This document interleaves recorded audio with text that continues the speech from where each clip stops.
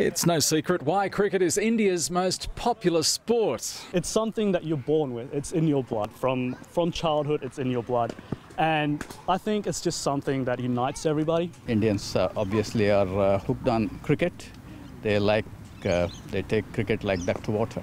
On recent form, they're not exactly confident India can successfully defend their World Cup title, but that won't stop the India Sports Club celebrating everything India. Oh yes, uh, we very much uh, uh, use the background that we have inherited from India. There are many events throughout the year that we go to, and um, yeah, it's celebrated as if we are in, in India. The vast majority of the 300 plus members of the India Sports Club are Indians. But when it comes to membership, they very much have an open door policy.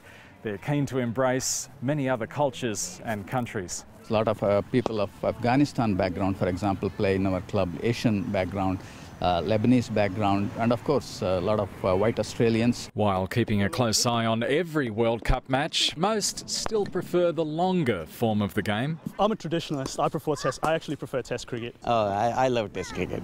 So, where's their allegiance? Who will they be barracking for during the World Cup? We always support Australia unless it's against India. I'll be supporting cricket with Australian colours.